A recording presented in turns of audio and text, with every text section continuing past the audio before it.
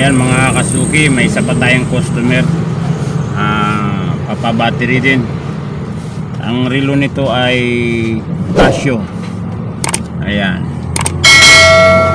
Ang hindi na siya umaandar. Parang pumipitik-pitik na lang siya. Ganon. Hindi umaalis sa kinalalagyan niya yung seconds. So malamang battery na ito. Kasi di battery ito mga kasuki. Casio quartz.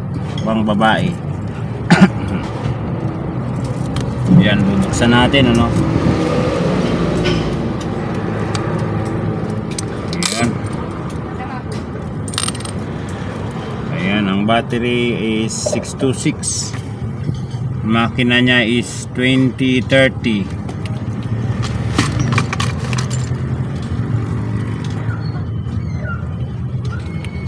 Yan. Ganun na madali lang pagtanggal ng battery niyan mga guys. Mga kasuki. Tester natin ang kanyang battery. Para malaman natin talaga.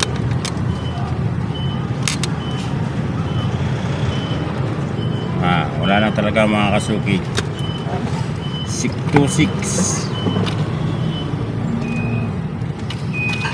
Yan. Ano tayo ng 626. Ayan, meron tayo mga kasuki. 626.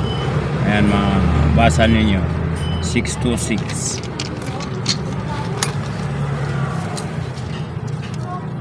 Siyempre, bago siya. Tester natin. Ayun, palong-palo. Yung luma, wala na talaga. Mga ganito mga kasuki, 626. Eh, 100 lang yan. Okay naman yung kanyang ah, terminal. Wala pang kuan na ang battery is eh, wala pang sign na nag-leak. Kabit natin tong bagong battery. Yan, wait lang. Yan. Ahawiin natin ng konti ang kanyang ano. Yan. Ayan na, kabit na. Check natin. Ayan na, mandar na mga kasuki. Ayan. Na against the lights ako. Ayan, ito yung seconds niya.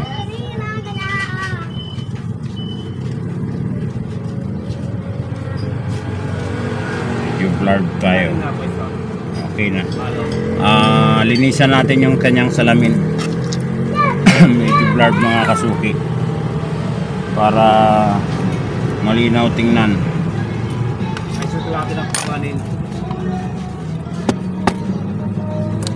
Ayan o. Ayan. Kitang kita. Oh. Ayan, mga kasuki, kitang kita na ang kita.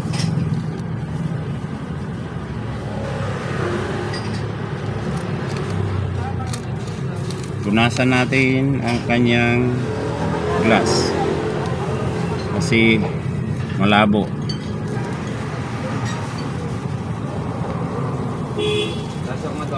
Para pag tiningnan malinaw. Kaya lang mga kasuki, itong glass niya marami ng gas-gas. Ay, Ayan o. So medyo malabo na talaga to pag tiningnan.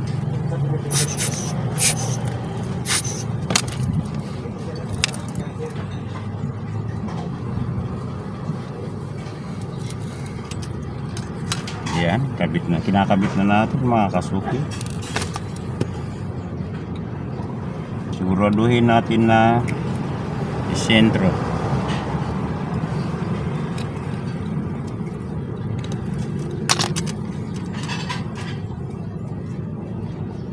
Natin. Meron nga pala akong paalala sa inyo mga kasuki ano. Pag nagpihit tayo ng relo, nag-adjust tayo ng oras. Itong crown, pwede naman kukulang yan. Dahan-dahan lang po. Yan mga kasuki. Yan. Mahuhugot na yan pag kukulang. Alalay lang po. Ayan. oh. Paalala po sa lahat ng mga kasuki. Ito ang pihitan. Pag naghila tayo, kukulang. Dahan-dahan lang. alalay. Yun, mapansin niyo tik parang tumunog. Ayan, tapos saka na po natin i-adjust. Ayan. Tapos pag na-adjust na, balik lang po natin tulak lang. Huwag nyo pong pupersahin paghila ito. Minsan kasi po pag napupersa paghila, mahuhugot. Kasama kasuki, mahuhugot ang pinaka-stem niya. Ngayon, pag nahugot yan, siyempre ibabalik ninyo. I-attempt ninyong ibalik. Pagbalik po ninyo, hindi na sentro doon sa butas. Tatama doon sa circuit block o kaya tatama doon sa kalendar dahil hindi nyo na ibalik ng maayos o hindi po nabalik ng sentro. Madadamage po yung sa may kalendar, sa may harap o kaya hindi nyo na sentro dito sa likod, madadamage niya po yung setting wheel. Yun, yun po ang nangyayari. Nawawala po sa alignment yung sa uh, kuha niya, sa pihitan. Or either matamaan nyo yung setting wheel or anilmang pyesa. Doon po nadadamage. Meron po kasi akong nabubuksan ganyan mga kasuki. Dinala niya yung relo. Sabihin ko, tanong ko anong nangyari po niyan mga kasuki? Nahugot daw pitan so tiningnan ko naibalik naman niya kaya lang nung binuksan ko ng mga kasuki hindi na naibalik po ng maayos. Hindi po naibalik ng nakasentro. Yun may na-damage na pong pyesa. Ang pinakamatindi po niya kung matamaan yung setting wheel o kaya yung mismong circuit block.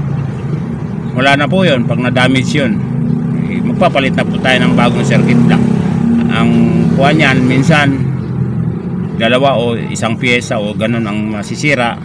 So lalo pong nadisgrasya so, kaya pag magbubunot po tayo ng ng crown ito tawag po nito crown or itong pihitan dahan-dahan lang po.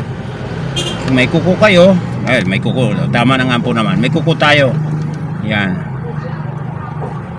Hilain po. Dahan-dahan. Alalay lang. Yan. Ayun mapansin ninyo tumunog. Pag hila po nakaalalay itong hinlalaki natin Yan, magadali lang po yan hugutin eh ngayon kagaya nito ang hila po ng ganito pag may kalendar po dalawang hila po yan yung unang hila adjustment ng kalendar yung pangalawang hila doon sa oras. Yan. So tandaan po ninyo, ingatan po ninyo. Pag nahila at nabunot, huwag nyo pong i-attempt na ibalik. Mas maganda dalhin nyo po sa mga manggagawa para sila po ang magbalik. Kasi pag kayo nag nagbalik, baka may madamage. Okay lang kung sana na pagbalik ninyo na isentro. Pero kung hindi po na isentro pagbalik sa tamang butas, yan lang po, madamage kung sa harap tumama, madamage ang mga kalendar niya. Kung sa likod tumama dito, madamage ang circuit block o kaya ang setting wheel niya. Ang problema kasi mga kasuki, ang mga pyesa nito puro plastic. Yun, mabubungi na yun. Pagbalik ninyo, tapos pinihit ninyo, yun na po. Masisira po ang mga pyesa niya. So, ingatan po natin mga kasuki. Pagbunot, dahan-dahan lang. Huwag pong masyadong pwersa. Yan. Yan po ang kuha niyan mga kasuki. So, reminder po sa ating lahat. Mapa-automatic man yan o mapa-original. So, ayun mga kasuki, ano, tungkol sa pihitan. Ito pa, dagdag pa kaalaman. Maraming klaseng paano paghila ng pihitan. Halimbawa, kagaya nito. Hindi mo siya mahihila basta-basta. Mapapansin mo yan. Pag sa mga panglalaki mayroon at saka pa pang babae. Yung kagaya nung isa kanina kasi kinuha na po. Oh, ito halimbawa ito. Ah, automatic pang babae. Pag may kalendar, yan mga kasuki, dalawang hila nga uli yan. Kuko lang po, alalay lang ha, kuko. Yan. Nakaala alalay lang tapos nakaalalay ang hindalaki. Yan.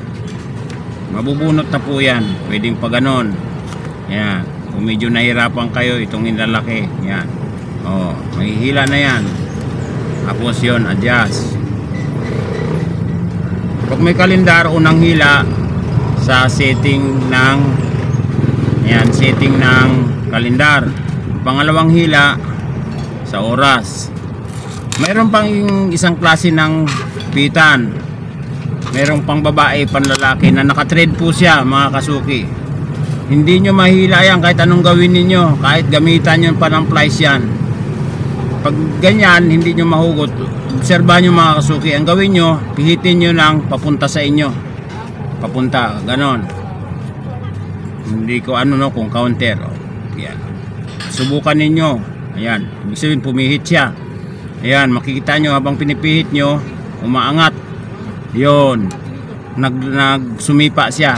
Kasi yung pita niyan mga kasuki, itong crown, may spring yan sa loob. Sisipa yan. So ibig sabihin, ah, natanggal na sa pagkalak niya. Merong iba wala.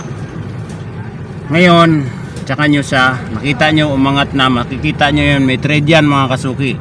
Tsaka nyo hihilain ng unang hila, pagka may kalendar, pang pangalawang hila, sa oras. Ayan. Ngayon, kung ibabalik ninyo mga kasuki, tutulak nyo lang uli siya. Yan. So, nag-click na siya. Yung una, pangalawa.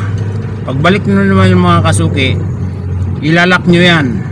Yan, ilalak nyo. Pag, pag ano naman, yan, papunta roon. Yan. Tulak, dahan-dahan, pihit para mag-lock siya. Yan. Ngayon, pag naglalak po kayo dahan-dahan, isentro nyo po ah. Kasi pag hindi rin nyo na sentro, ang thread niyan mga kasuki, ah, madisalign ang thread niya. Ibig sabihin, hindi nyo na ibayad balik ng maayos. O hindi na isentro pag thread. Yun po ang nangyayari. Nalulos thread po ito. Ito itong pitan mismo, ayan. Yan, ibalik ko uli. Meron po itong pitan mismo, itong crown, may thread po yan sa loob. Ngayon, itong tubing niya, may thread din po yan. Pag binalik ninyo, yan, kailangan isentro. At saka pitin nyo ng ganon. Pa forward. Tapos, pagka tatanggalin nyo, counter. Yan. So, yon mga kasuki. Maraming klaseng pitan. Meron pang pitan na naka meron itong lock dito yung iba. Tatanggalin nyo lang ang lock. Ganun lang mga kasuki. So yun. Ingat po pag, pag maghihila tayo wag masyadong persado kasi pag nahila natin yan at nahugot pati stem hindi nyo na ibalik ng maayos. Baka may madamage pong pyesa sa loob. Yan. Yun lang ang pagkaalam ko na ibang mga pitan mga kasuki no, about sa relo kung mayroon pa mang iba eh, i-share ko rin sa inyo. Yan Ganun lang mga kasuki ang pagkuha ng mga pihitan. Ingatan po, dahan-dahan, wag na mapwersa. Huwag niyong gagamitan ng kung ano, pliesman o ano, o kaya susungkitin ninyo ng kutsilyo, gaganon ninyo dahil hindi mahila, maaari po siyang tumabingi. Ngayon, halimbawa, hindi nyo mahila. Tingnan nyo, minsan may mga pitan po na makikita ninyo sa paligid parang kinalawang siya. Huwag nyo pong pipwersahin gagamitan ng plies o ano man. Kasi pag kinalawang dyan, ibig sabihin hanggang ma hanggang loob kinalawang na po yun. Minsan ganun, pagbukas namin, binubuksan namin. Pati sa loob, sa loob ng tubing niya, mga kasuki, may tubing to eh, hanggang sa loob. Ang, ang stem niya, kinain na ng, ng kalawang. Pag piniwersa nyo yan, putol. So, ang problema mga kasuki, pagka napwersa, tanggal ang crown, pitan, tapos naputol na mismo doon sa stem niya, ang pagkaputol is sagad doon sa stem, wala na po tayong magagawa nun. Ah, pa- pagkaputol niyang ng stem niya, sagad hanggang doon sa stem, ah, sa stem, sa crown. So, wala na po tayong magagawa doon, kundi magpalit na tayo ng crown at saka stem. Kasi po, mayroong mga ganun na klase na ang stem o itong crown kinalawang na. Dahil ang tubing niya ay ah, sira na po ang gasket. Yan maliban lang sa mga di battery walang yung tubing niya o ang crown niya walang wala pong gasket. Eh kung kakalawangin man yun minsan nadadamay po ang makina. Yon so may kaso rin po ako na ganun na isa yung yung divers ano na pinasok kinalawang So ganun mga kasungi, kasuki, ingat po, dahan-dahanin po natin pagpihit o pag-adjust, paghila. Yan, paghila, kaalalay sa mga hindi ditread ano, nakaalalay paghila ganyan, kaalalay ang inlalaki, dahan-dahan. Wag na wag pipir, pipersahin. Ayan, mapa-original man yan o automatic. Ganun lang mga kasuki. So yun, thank you, thank you very much.